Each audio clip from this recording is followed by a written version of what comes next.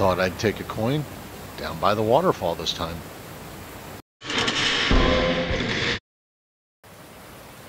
Silver Steeler here. Thought it was time to take a round down by the waterfall. I've been doing a lot of these rounds down by the river and thought why not a waterfall this time and this is the Salivate Metal, the two ounce round from Intaglio Mint. I was watching the video by Silver Bean Counter. He featured this round and I loved it. Did a really good job explaining it and uh, pointed out all the detail. Commented that it's nicer in hand than it is on video and I have to agree with him on that. It is beautiful. Yeah, the Intaglio Mint, they've been making them Molon Labe rounds. And I just got the Type 5 in the other day, and they really do excellent work. I've really fallen in love with their 2 ounce silver rounds and do a good job on the high relief. The detail is just exquisite on these rounds that they've been putting out. So when I saw Silver Bean Counter show me this one, I thought, hey, I need to get it. Let's, let's do something different with the background on this one. And uh, they did you good there, Salivate Metal. Very nice looking round. I'm impressed with it. So anyway, a couple things about this. This is a two ounce round. And uh, it's got some of his famous quotes on there, like a multitude of gratitude and the salivation nation across the bottom. I mean, you got to include those two things about it.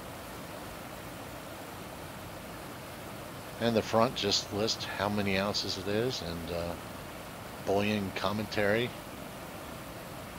Try to catch his streams whenever I can. They usually occur when I'm working, so it's hard for me to get into each one, but usually I can make the Sunday one for a little bit. He's a great guy for the community. Love his work. I love him messing around with scammers too get a lot of them that call me and try to use some of the things he does against some of those scammers. So yeah, I'm more than pleased to have this in my collection. I've been really getting into a lot of two ounce rounds of late and uh, this one seemed to fit the bill. I already had an airtight form too. So put it right in there. And it's not really that high of a cost from APMEX. It's uh, $3.99 over spot. I think I paid $43 for this. So, not bad. It's about what I've been paying for, for on the Molon Labe one, so why not? A nice add to the stack. Love the scenery out here. Beautiful day. I think I'll shoot a few more here next to the waterfall.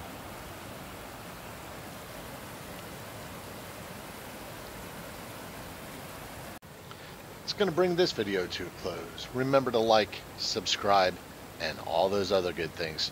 I'll see you on the next video.